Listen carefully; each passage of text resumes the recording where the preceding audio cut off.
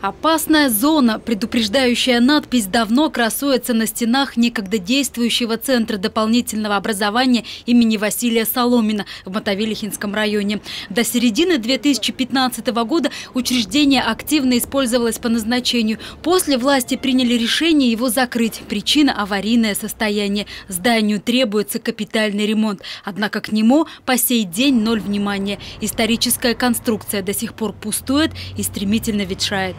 В феврале наш телеканал рассказывал про ситуацию с досуговым центром. Тогда в Департаменте образования пообещали провести капитальный ремонт к 2019 году. Скорее всего, так и будет. На объект уже готова техническая документация по реконструкции.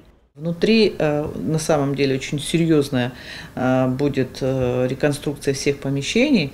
Там будет зал, настольного тенниса, зал для компьютерных игр, а большой зал для проведения культурно-массовых массовых мероприятий на 400 мест – а, эстрада, а, помещение театрального кружка, мастерские декоративно-прикладного искусства, значит, зал хореографии, репетиционный читальный зал, библиотека и несколько а, помещений для учебных занятий. Кроме этого, значит, и фасад и кровля будут отремонтированы.